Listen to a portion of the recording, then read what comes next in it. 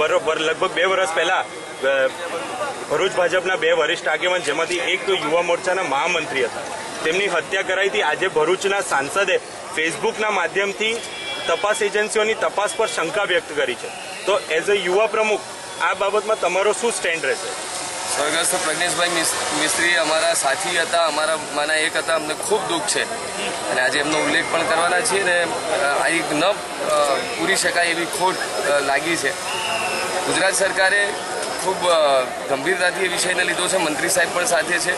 આગામી સમયમાં ચોક્કસપણે ગૃહમંત્રીશ્રીને મળીને એ દિશામાં ચોક્કસ પગલાં લેવાય ને જવાબદારોને ન છોડાય એની માંગ કરીશું. મને વિશ્વાસ છે કે ગુજરાત સરકાર જવાબદારોને બિલકુલ નહીં છોડે.